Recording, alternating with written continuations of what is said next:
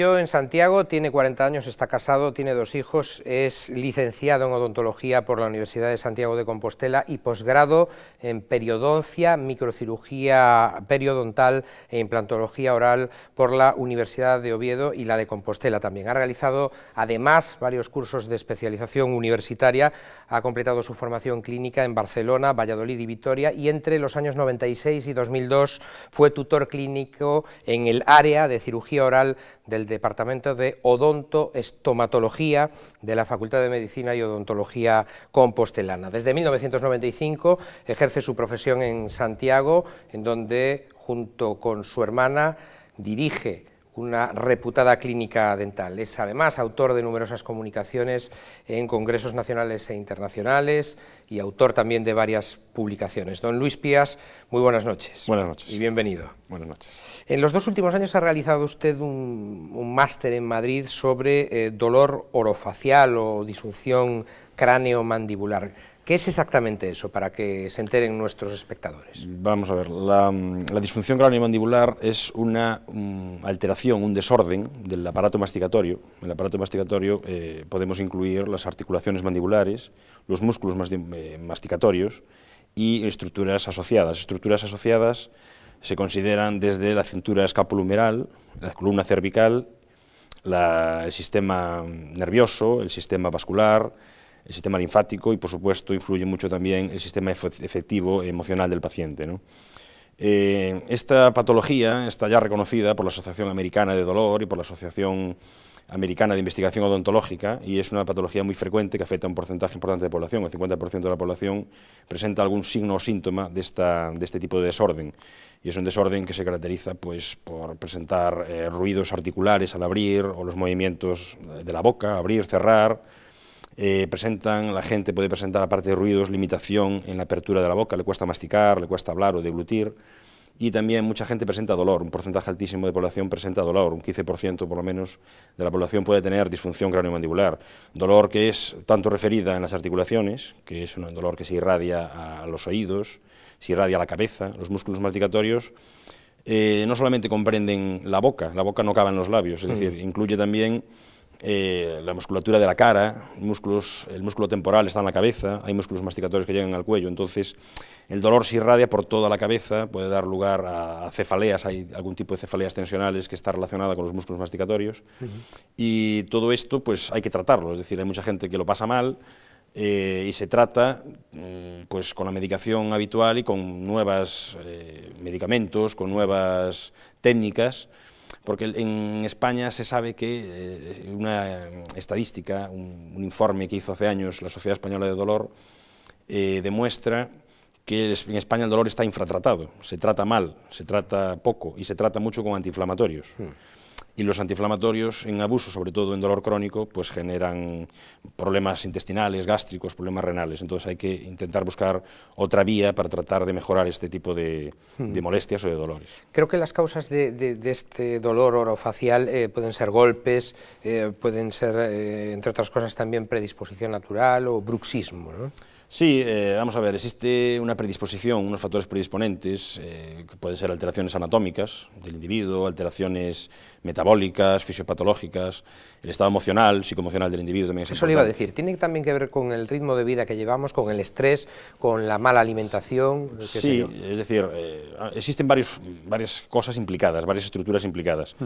Es decir, influye cómo está la columna, cómo están los músculos, cómo está el tipo de dieta, eh, el estrés, eh, todo esto está relacionado, pero hay una base sobre la que se apoya todo esto, que es el sistema emocional. Si hay un desequilibrio emocional, por el motivo que sea, cualquier estructura que se vea afectada va a afectar más y va a desarrollar más patologías musculares o dolores de cabeza o migrañas a este nivel. Hmm. En ese máster al que hacíamos referencia, que, lleva usted haciendo desde hace dos años, eh, creo que además usted es el único en Galicia que lo ha hecho.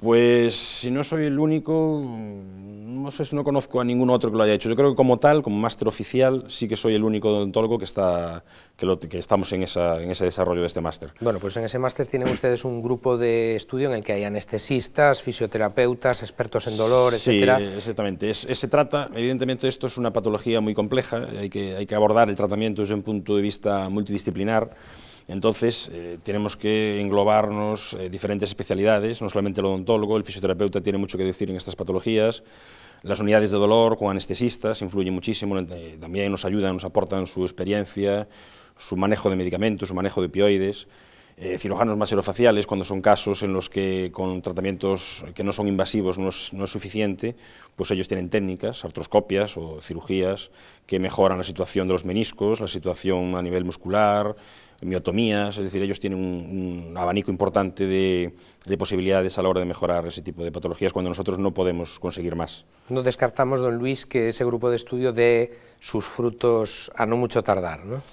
Sí, hombre, nosotros intentamos juntarnos un grupo de personas, un grupo de gente con la intención de eh, comunicar y extender esta, esta, patología, explicarla a la población, eh, intentar comentar que, cuáles son las causas que pueden llevar a esto, qué se puede hacer para mejorar, eh, y que la, la, población pueda apoyarse en, en, los profesionales sanitarios que dominan esta materia para que, para que lleguen a una solución de su problema. Hmm. Hablemos, si le parece, ahora de periodoncia. Eh, aproximadamente la mitad de la población sufre en mayor o menor medida piorrea. ¿Es, ¿Es la enfermedad de boca más común? de la boca más común? Pues hoy en día yo pienso que sí, es decir, yo pienso que hoy en día la población padece más de enfermedad periodontal que de caries. La enfermedad periodontal pues, eh, es una enfermedad hereditaria y bacteriana, está muy relacionada pues, con la dieta, con el estrés, con, con la medicación, medicación como antipilépticos, antihipertensivos, uh -huh. corticoides, esto, esto, también hace que se agrave más la enfermedad. El tabaco multiplica por mucho la enfermedad periodontal. Uh -huh. y ¿Por seis, si no me equivoco? Por seis, por seis. Entre 2,5 y 6 puede multiplicar. O sea que quien fume ya sabe que tiene otro motivo para, para dejarlo.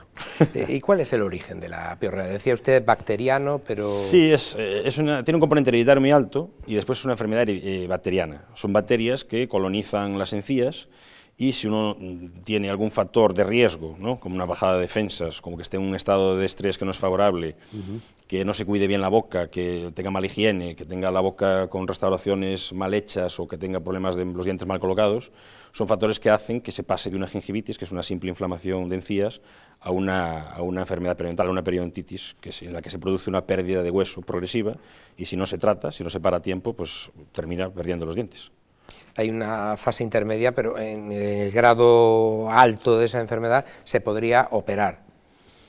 Vamos a ver, el grado avanzado, te refieres. Uh -huh. La enfermedad periodontal pues, tiene diferentes grados, no quiere decir que a la gente que le vayan a caer los dientes, es decir, pasa de grados, es una enfermedad crónica, de grados iniciales, moderados y uh -huh. avanzados. En casos avanzados, pues es mejor cogerla a tiempo. En casos avanzados a veces ya no se puede hacer nada. En casos moderados se pueden hacer tratamientos básicos o si no hacer cirugías periodontales en las que ahí se reducen bolsas o se mejora la encía, las inserciones para que el paciente después o los higienistas puedan mejorar la higiene de esas zonas para uh -huh. no tener bacterias y mantenerse sano.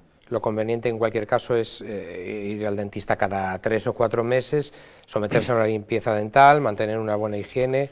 Sí, eh, depende de cada persona, es decir, la gente joven, que a lo mejor, gente joven que no tenga nada, porque hay gente joven que puede tener también enfermedad periodontal, hay periodontitis agresivas uh -huh. que afectan a gente joven, incluso a la edad eh, puberal. Esa es la periodontitis rápidamente progresiva que me decía usted. Exactamente, hay una periodontitis rápidamente progresiva, una que se llama periodontitis juvenil, que uh -huh. es generalizada y afecta, pues, quizá más a gente de menos de, de 30 años, es más tardía que la puberal, ¿no? La localizada es puberal, y la, y la, y la generalizada es la, la, un poquito más tardía, pero estamos hablando de gente joven, de menos de 30 años.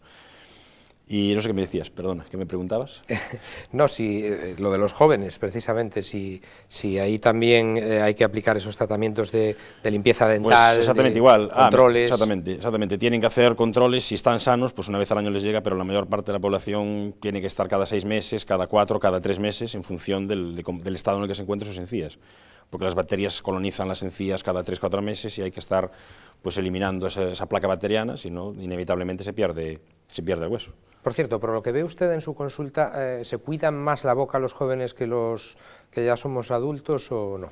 No, lo que pasa hoy en día, la gente joven, los menores de 18 años, eh, tienen la boca bien, es decir, la tendencia a caries ha disminuido, ha disminuido muchísimo, y vienen sin miedo al dentista, que es un factor importante, porque los adultos, los mayores, sobre todo de 50 años, todavía tienen cierta miedo, cierta fobia al dentista. Hombre, también han cambiado mucho las cosas en cuanto a las anestesias y demás, ¿no? Hombre, ha mejorado la técnica, la tecnología es mucho mejor, mucho más cómoda, las técnicas anestésicas, pues evidentemente hace años las inyecciones eran mucho más dolorosas, hoy en día también la gente, los dentistas somos más jóvenes, tratamos mejor a la persona, los cuidamos más, somos más humanos.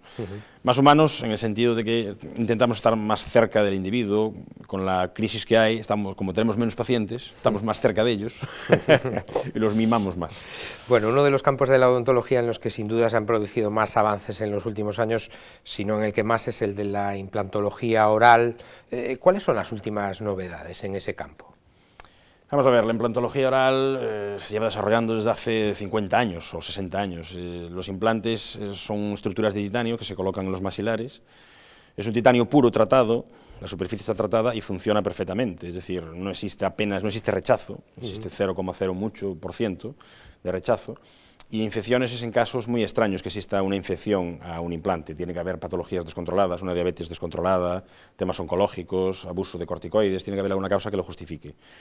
Eh, la odontología hoy en día ya no va por el éxito en sí del implante, va por el temas estéticos, es decir, hoy en día ya se juega con la, con la estética de la encía, es decir, que el implante no va a fallar, ya se da por hecho. Hoy en día lo que se intenta conseguir es que el diente quede perfectamente englobado en la encía, como si saliera de dentro, entonces van más las técnicas por cirugías mucogingivales, como si fuera una cirugía plástica, pero de las encías, ¿no? manejar colgajos, etc.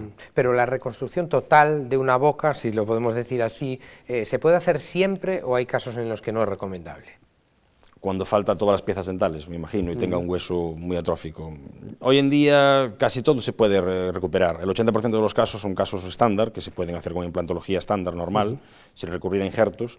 Y en casos de maxilares muy atróficos, cuando los maxilares han deteriorado mucho por osteoporosis o porque el paciente ha perdido pues, eh, las piezas hacía muchos años, pues existen injertos, se pueden hacer injertos, injertos eh, ya sea sintéticos o injertos de, de, otras partes de la boca, o incluso si nos vamos fuera de la boca se pueden hacer injertos cogiendo cresta ilíaca de la cadera o de calota craneal, que ya son palabras mayores, ahí es donde están los, los maxilofaciales. Habla usted de coger trozos de hueso. Fragmentos de hueso, exactamente, se cogen fragmentos de hueso y se ponen eh, en, encima o pegados con microtornillos en las estructuras óseas maxilares y de esta manera, pasado un tiempo, conseguimos un hueso estable, mayor cantidad de hueso y ahí colocamos los implantes. Pero esos son los menos, los menos casos son esos. Generalmente los casos se resuelven sin injertos y con implantes normales. ¿Cuánto debe costar y cuánto no debe costar una reconstrucción total de, una boca? Uf, Sobre todo lo segundo, ¿cuánto no debe costar?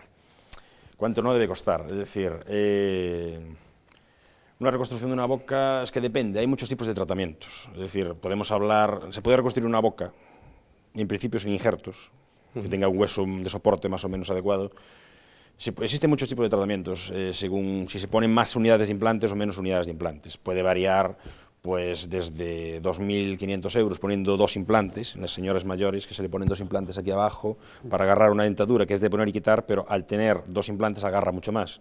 Entonces puede, puede oscilar pues, desde ese tratamiento, que son 2.500 euros, a una rehabilitación total de cerámica con más implantes, pues puede costar 10.000 euros a lo mejor por cada maxilar. ¿Vale? Son tratamientos, no es excesivamente caro, estos precios. ¿Y las piezas implantadas, don Luis, son de por vida o no? Esa es otra pregunta que nos hacen muchos pacientes, si son de por vida o si le damos garantía de por vida. Y no podemos dar en medicina garantía de por vida. Porque... Ustedes evidentemente no le dan un papelito firmado por don Luis Pías Villamor, claro, nosotros ni por ningún dentista en el que ponga eso. Aunque los pacientes tiendan a eso, al final es un error y es engañarse a sí mismos. Es decir, la biología no podemos controlarla, nosotros no podemos saber lo que le va a pasar al hueso o lo que va a, sufrir el paciente. Pero por porcentajes de las operaciones que han realizado en, todos estos años... Eh, Los implantes se sabe que utilizando implantes que, tengan, que sean de multinacionales serias, que tengan ensayos clínicos serios, que tengan un recorrido importante de estudios animales, de experimentación, eh, se sabe que como mínimo los implantes en condiciones normales deberían durar 20 años. Eso es la experiencia que se tiene. Y a partir, lo normal es que duren más. Lo normal es que duren más, pero claro, eso depende después de cada individuo, de cómo se cuide cada individuo, de si sufre alguna patología, de muchos factores. Pero bueno, podemos lavar hablar los dientes se los va a tener que lavar igual y utilizar el hilo dental y todo O más, exactamente. Eh, tiene que cuidarse incluso más los implantes que los dientes, porque los dientes tienen un tipo de fibras que conectan con el hueso distintas a los implantes, entonces las bacterias incluso entran más fácil en los implantes que en los dientes. Entonces la higiene tiene que ser la misma o incluso más esmerada tiene que tener, y además ha hecho inversión, una inversión en la boca, es un buen motivo para cuidarse más, acudir al dentista cada esos tres, cuatro, seis meses para hacer esos controles periodontales y, eliminar todo tipo de bacterias de, los maxilares. Eh, otra de las vertientes de su trabajo, bueno, relacionada, como decía usted, con la implantología oral, es la estética. ¿Cómo se pueden mejorar eh, los perfiles de una sonrisa? Pues a ver, la estética es otro factor muy demandado por la sociedad, la, sonrisa es algo con lo que uno eh, entra en contacto con la población, ¿no? Evidentemente, quien es guapo, el otro día leí un artículo que decía que los, las personas que se miden más de un 85, que tienen buenos rasgos físicos, pues son los que controlan las empresas, son los ejecutivos. Entonces, Caramba. la imagen es una cosa importante. Entonces, ¿cómo se puede mejorar? Pues hay que hacer un diagnóstico, hay que hacer un diagnóstico de cómo tienen los dientes, de qué longitudes, cómo están las encías. No solamente hay estética de los dientes, hay estética de las encías, de los labios, y hay que aunar todos esos criterios y lo que se consigue es, pues con diferentes materiales, desde blancamientos, que es lo, más, lo menos invasivo, por decirlo así, pasando por composites, que son materiales blancos, como los composites blancos, o cerámicas, cerámicas feldespáticas, pues se mejora la sonrisa de una manera importante, diferente en función de, qué tipo de tinciones tenga el individuo. que... ¿Eso es lo que llaman ustedes materiales más o menos conservadores? Claro, el blancamiento es una cosa poco invasiva, los composites no son invasivos, apenas son invasivos, y después eh, vas tallando más las piezas o vas teniendo más eh, afectación del diente, así que vas haciendo cerámicas, sean feldespáticas o metales blancos, que son metales estéticos como el circonio, como la alúmina. Entonces, eliges un tratamiento u otro en función del caso, en función de la persona. Pero ustedes se comprometen a que una persona que entre en su clínica con una sonrisa fea, vamos a decirlo así claramente, pueda mejorar. Pueda mejorar, incluso que salga con una sonrisa bonita. Yo pienso que sí, es decir, hay que ver el, caso, hay que ver el caso, es decir, evidentemente una sonrisa fea, si es fea, se puede solucionar. Lo que pasa, otra cosa es el factor psicológico del individuo, otra cosa es lo, a lo que aspira a la persona, es decir, la persona, por eso hay que jugar mucho con la psiquis de la persona, es decir, hay que saber hasta dónde quiere llegar él, porque lo que no puede ser es que una persona de 60 años le bajemos 30, 40 años, está claro, es decir, a veces de hecho le pedimos fotos más o menos recientes o de cómo le gustaría quedar a esa persona, como a dónde quería llegar, pero no podemos hacer milagros. pero no le traen a ustedes una foto de Paul Newman, ¿no? No, nos traen fotos de ellas de hace tiempo, sobre todo son mujeres las que son más exigentes con la estética, ¿no? Entonces a veces tenemos que frenarlas y decir, mira, hasta aquí podemos llegar, hasta aquí no, y si no se explica antes esto es cuando después hay problemas, porque la estética es un, es un tema a tener en consideración, es un tema que puede dar problemas después. Un tema delicado. Es un tema delicado sobre todo por las subjetividades que genera, ¿no? porque la estética a veces es subjetiva. Y hoy hemos hablado de qué hay que hacer en el caso de que uno sufra piorrea, pero en líneas generales, ¿cada cuánto debemos ir al dentista? Esta es la pregunta del millón, porque me imagino que cada especialista dirá un poco una cosa, ¿no? Pues ya te digo, eh, si la persona tiene una enfermedad periodontal activa que tiene que controlar, pues igual tiene que estar cada tres meses haciendo mantenimientos para controlar su enfermedad periodontal. ¿Pero y si está sano? Si está sano, cada seis, o cada, cada seis meses o cada año. Cada seis meses o cada año conviene que haga una revisión, y si tiene que hacerse una limpieza, pues que se haga una limpieza cada seis meses o una vez al año, a lo mejor le llega. Y además, eh, es importante que vaya, desde luego, todos los años, porque no solamente por el tema propio de los dientes o de las encías, sino para ver si existe algún tipo de lesión en la boca, sobre todo de gente adulta, gente que fuma o que fuma y consume alcohol, sobre todo la combinación, que es muy mala por el tema de las lesiones premalignas que pueden malignizarse en relación al cáncer oral. Entonces, conviene controlar esas, esas, lesiones, observarlas, valorarlas. Se sabe, por ejemplo, que hay llagas o heridas que duran más de 15 días, hay que controlarlas, porque si pasa más de ese tiempo pueden malignizarse y degenerar un carcinoma in situ, que es un carcinoma pequeño, pero que inicia una tumoración. Más adelante. Más adelante. O sea, no quiere decir que en 15 días le vaya a pasar nada, pero quiere decir que hay que controlar y parar esa, parar esa lesión. ¿Y desde qué edad debemos ir al dentista? Pues yo considero que desde los tres años, desde que un niño tenga dientes, o desde los tres años, vamos a decir así, conviene que vaya, que vaya al dentista para ver si los dientes tienen un aspecto, un color adecuado, para ver si los maxilares le van creciendo adecuadamente. Generalmente no hay que hacerles nada, afortunadamente, porque también es difícil a un niño de tres años o de dos años hacerle algo. Pero bueno, eh, lo normal es que no tengan nada y si tuvieran alguna cosa, pues suele ser temas de malformaciones, a, a lo mejor, malformaciones maxilares que habría que derivar a alguna unidad específica de, desarrollo mandibular, habría que poner algún aparatito, pero claro, a esas edades es muy complicado. No es habitual eso. Don Luis Pías en su clínica siempre se ha preocupado de estar a la última en tecnología. De hecho, me decía usted antes de, esta entrevista que se acaba de comprar un escáner, además de última generación, que le permite eh, contar con imágenes en tres dimensiones. Exactamente. Eh, siempre nos interesa tener todo tipo de tecnología eh, para poder aportar a los pacientes los mejores diagnósticos posibles y poder hacer nuestro trabajo lo mejor posible. Pero este escáner, por ejemplo, ¿en qué, en qué mejora el diagnóstico?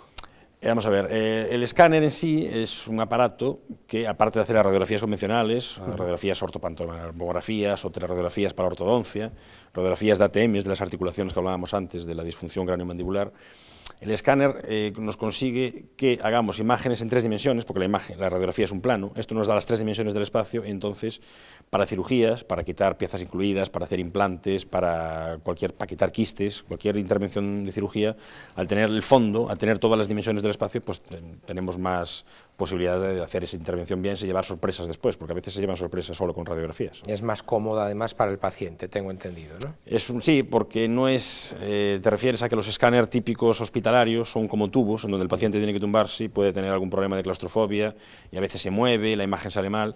Este es un escáner en el que el paciente es como para hacer las radiografías panorámicas, el paciente está sentado, el paciente está de pie, se agarra a un soporte y no tiene por qué tener ningún tipo Y reduce también la radiación, ¿no? Y tiene mucha menos radiación. La radiación, pues eh, los eh, escáneres hospitalarios pueden generar una radiación equivalente a mil radiografías panorámicas y estos, estos escáneres nuevos, con BIM, que se llama la tecnología con BIM, 3D, pues eh, la, imagen que conseguimos es óptima y la, y la, y la radiación perdona, que genera es eh, mínima, es como dos radiografías panorámicas, como una radiografía panorámica y media.